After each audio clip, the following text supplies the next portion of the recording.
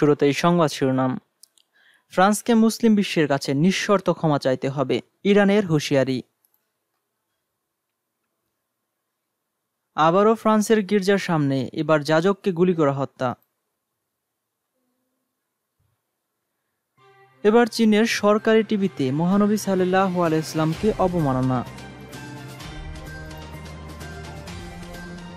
ইসলাম অবমাননাকর কার্টুন প্রদর্শন করে সাময়িক বরখাস্ত বেলজিয়ামের স্কুল শিক্ষক। এবং সবশেষ থাকছে, এবার সোনার খনি দখল মুক্ত করল আজারবাইজানের সেনাবাহিনী। এতক্ষণ শুনছিলেন সংবাদ শিরোনাম, এবার চলুন বিস্তারিত জানা যাক। ইসলামী প্রজাতন্ত্র ইরানের জাতীয় সংসদ মুসলিম বিশ্বের কাছে নিঃশর্ত ক্ষমা প্রার্থনা এবং তাদের অন্তরের ক্ষতা সারানোর চেষ্টা করার জন্য ফ্রান্স সরকারের প্রতি আহ্বান জানিয়েছেন। এই সংসদ বলেছে, বিশ্ব ইহুদিবাদী চক্রের সুদূর প্রসারী পরিকল্পনার আওতায় পশ্চিমা দেশগুলোতে একের পর এক বিশ্বনবী সাল্লাহ আলাইসাল্লামের অবমাননা করা হচ্ছে। ইরানের সংসদ সদস্যরা শনিবার তেহরানে প্রকাশিত এক বিবৃতিতে এ আহ্বান জানিয়েছেন। বিবৃতিতে তারা আরও বলেছেন, মুসলিম বিশ্ব আরেকবার মানুষরূপী শয়তানদের নোংরা এবং কুরুচিপূর্ণ চিন্তাধারার বহিঃপ্রকাশ দেখতে পেরেছে। পশ্চিমা দেশগুলো কথিত মত প্রকাশের স্বাধীনতার নামে তাদের শয়তানি মতাদর্শের দুর্গন্ধ বিশ্বব্যাপী ছড়িয়ে দিচ্ছে। বিবৃতিতে বলা হয়, শুধু মুসলমান নয়, বরং সকল ঐশী ধর্মের প্রকৃত অনুসারীরা বিশ্বনবী হরজত মোহাম্মদ সাল্লাহ আলাইস্লামের অবমাননার নিন্দা জানিয়েছেন। এ অবস্থায় যদি এখনই এই অবমাননাকে রুখে দেওয়া না যায়, তাহলে এরপর এসব নিকৃষ্ট লোক হরজত ইসা মাসিহ আলাইসাল্লাম এবং হরজত মুসা কামিলুল্লাহ আলাইসাল্লামকে অবমাননা করতেও পিছপা হবে না। ইরানের সংসদ সদস্যদের বিবৃতিতে ইসলাম অবমাননাকর এই শয়তান এবং নিকৃষ্ট কাজকে লজ্জাজনক আখ্যায়িত করে ফ্রান্সের প্রেসিডেন্টকে বলা হয়েছে, ফরাসি সরকারকে এই জঘন্য কাজ করার জন্য দুঃখ প্রকাশ করে এই নেককারজনক কাজ করার জন্য গোটা মুসলিম উম্মাহর কাছে নিঃশর্ত ক্ষমা চাইতে হবে। এদিকে ইরানের জাতীয় সম্প্রচার সংস্থা আইআরআইবির প্রধান আবদুল্লাহ আলী আসকারি ফ্রান্সের মত প্রকাশের স্বাধীনতার নামে বিশ্বনবী সাল্লাহ আলাইস্লামের অবমাননার তীব্র নিন্দা জানিয়েছেন। তিনি এক বার্তায় ফ্রান্স সরকারের জঘন্য চরিত্র উন্মোচন করে দেওয়ার জন্য গোটা মুসলিম উম্মাহকে বিশ্বের সকল স্বাধীন চেতনার মানুষের প্রতি আহ্বান জানিয়েছেন। এবার ফ্রান্সের দ্বিতীয় বৃহত্তম শহর লিউতে একটি গির্জার যাজককে গুলি করে হত্যা করা হয়েছে। আহত যাজকের অবস্থা সংখ্যাজনক পুলিশ হামলাকারীকে আটক করতে সক্ষম হলেও তার পরিচয় এখনও জানা যায়নি। পুলিশ জানিয়েছে, স্থানীয় সময় শনিবার বিকেল চারটার দিকে ওই যাজক গির্জার কাছাকাছি আসার পর হামলাকারী তাকে লক্ষ্য করে গুলি করে। আহত ওই যাজককে চিকিৎসা দেওয়া হচ্ছে। প্রত্যক্ষদর্শীরা জানান, ওই গির্জাটি গ্রিক অর্থোডক্স। হামলার পরপরই এলাকাটি ঘিরে ফেলেছে পুলিশ। যেসব জায়গায় ভিড় বেশি, সেখানে সেনা মোতায়েন করা হবে বলে জানিয়েছিলেন ফ্রান্সের প্রেসিডেন্ট। এমনকি উপাসনালয় এবং স্কুলের নিরাপত্তাও সুনিশ্চিত করা হবে। বাস্তবে তেমনটাই হয়েছে। তারপরেও কীভাবে এমন হামলার ঘটনা ঘটল তার উত্তর দেশটির পুলিশের কাছে নেই। এর আগে নিজ শহরের নটরড্যাম গির্জার বাইরে তিনজনকে মাথা কেটে খুন করা হয়। হামলার পরপরই গোটা ফ্রান্সের নিরাপত্তা ব্যবস্থা জোরদার করে কর্তৃপক্ষ।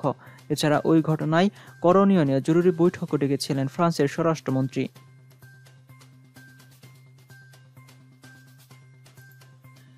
চীনের সরকারি টেলিভিশনে প্রকাশিত হল হাতে আঁকা মহানবী সাল্লাহ আলাইস্লামের বিতর্কিত ছবি। ইন্টারনেটে সেই ছবি ভাইরাল হলেও পাকিস্তান সহ মুসলিম দেশগুলো চীনের এরকম নিন্দনীয় কাজের বিরুদ্ধে নীরব। তাদের এই নীরবতা নিয়ে সামাজিক যোগাযোগ মাধ্যমে ঝড় উঠেছে। ফ্রান্সের এক শিক্ষক মহানবী সাল্লাহ ইসলামের ব্যঙ্গচিত্র প্রকাশ করায় দেশটিকে বয়কটের ঘোষণা করেছে পাকিস্তান সহ একাধিক দেশ। কিন্তু চীনের সরকারি চ্যানেলে এরকম নিন্দনীয় কাজের পরেও নীরব ইসলামী দেশগুলো। ফ্রান্সের ঘটনা নিয়ে গোটা মুসলিম দুনিয়া উত্তাল। এই উত্তেজনার মধ্যে চীন সরকারের নিয়ন্ত্রণাধীন চীনার সেন্ট্রাল টেলিভিশন নেটওয়ার্ক সিসিটিভি সম্প্রচার করল মহানবী সাল্লাহ ইসলামের বিতর্কিত ব্যঙ্গচিত্র। ভিডিওতে প্রকাশিত চিত্রটি ইতিমধ্যেই সামাজিক গণমাধ্যমে বিতর্কের ঝড় উঠেছে। উইগুরদের অধিকার নিয়ে কর্মরত আরশালান হিদায়াত টুইটারে জানান, তাং রাজবংশের আমলে আরব রাজদূতের চীন পরিভ্রমণের দৃশ্য একটি হাতে আঁকা ছবি তুলে ধরেছে সিসিটিভি। সেই ছবিতে আরবের রাজদূত চীনা সম্রাটকে মহানবী সাল্লাহ আলাইস্লামের হাতে আঁকা ছবি উপহার দিচ্ছেন, সেখানে দেখানো হচ্ছে। ইচ্ছা করলে টেক দুনিয়ায় সেই ছবি যে কেউই দেখে নিতে পারেন। চীনের সরকারি টেলিভিশন ক্যারোল অফ জেঙ্গুয়া নামের ধারাবাহিকভাবে সম্প্রচারটি টিভি শোতে এই ছবি উপস্থাপন করা হয়।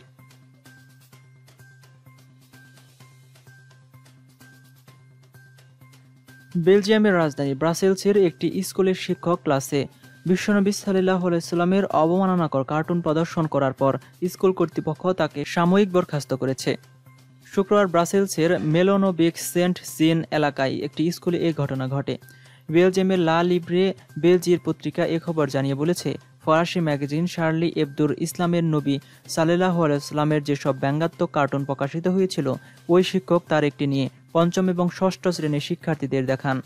সেই সঙ্গে তিনি একই কাজ করে কীভাবে একজন ফরাসি স্কুল শিক্ষক নিহত হয়েছেন তার বর্ণনা দেন। পত্রিকাটি বেলজিয়ামের বরখাস্ত হওয়া স্কুল শিক্ষকের নাম প্রকাশ করেনি, তবে শুক্রবার তিনি ক্লাসে ওই অবমাননাকর কার্টুন প্রদর্শন করার পর দুই থেকে তিনজন স্কুল শিক্ষার্থীর অভিভাবকরা স্কুল কর্তৃপক্ষের কাছে এ ব্যাপারে লিখিত অভিযোগ জানান। এরপরই তাকে সাময়িক বরখাস্ত করা হয়। এখন স্কুলটিতে তার চাকরি থাকবে কিনা আদালত সেই সিদ্ধান্ত নিবে। অভিযোগ দায়েরকারী শিক্ষার্থীদের পরিবারের বরাত দিয়ে লা লিব্রে পত্রিকা আরও জানিয়েছে, ওই স্কুল শিক্ষক ক্লাসে একটি ট্যাবলেট কম্পিউটার নিয়ে আসেন এবং সেখান থেকে মানবতার মুক্তির দূত বিশ্বনবী হরজত মোহাম্মদ সাল্লাহ আলাইস্লামের ব্যঙ্গাত্মক কার্টুন একের পর এক শিক্ষার্থীকে প্রদর্শন করতে থাকেন।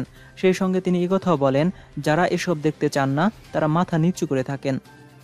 সম্প্রতি স্যামুয়েল পাটি নামক ফ্রান্সের একজন শিক্ষক তার ক্লাসের শিক্ষার্থীদের সামনে বিশ্বনবী হজরত মোহাম্মদ সাল্লাহ আলাইসাল্লামের ব্যঙ্গচিত্র প্রদর্শন করার পর এক হামলায় নিহত হন তিনি।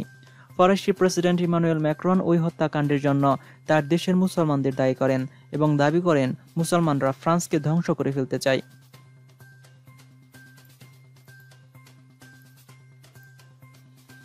গত তিরিশ বছরে নাগার্নো কারাবাকের দখলকৃত অঞ্চল থেকে বিভিন্ন ধরনের খনিজ পদার্থ উত্তোলন করে আসছিল আর্মেনিয়া। তেমনই একটি হল জাঙ্গিলান জেলার বেজনালি স্বর্ণখনি, যা আর্মেনিয়ার দখল থেকে মুক্ত করা হয়েছে বলে জানায় আজারবাইজানের গণমাধ্যমগুলো। আজ ভীষণ জানিয়েছে নাগার্নো কারাবাকে একশো ষাট ধরনের খনিজ পদার্থের মজুত রয়েছে, যাদের মধ্যে অন্যতম স্বর্ণ রূপা পারদ সহ অনেক পদার্থ। সম্প্রতি এসব এলাকা আজারবাইজানের সেনারা আর্মেনিয়ার দখল থেকে উদ্ধার করেছে। আর্মেনিয়া এসব এলাকা থেকে মূল্যবান খনিজ পদার্থ উত্তোলন করে দীর্ঘদিন ধরে রফতানি করে আসছিল বলে জানা গেছে। আজকের মতো এ পর্যন্তই ছিল। ভিডিওটি সম্পর্কে আপনাদের মতামত অবশ্যই কমেন্ট বক্সে কমেন্ট করে জানাবেন। বিশ্বের সর্বশেষ নিউজ সবার আগে দেখতে আমাদের চ্যানেলটি সাবস্ক্রাইব করে পাশে থাকা বেল আইকনটিতে ক্লিক করে রাখুন। এতক্ষণ সাথে থাকার জন্য ধন্যবাদ সবাইকে।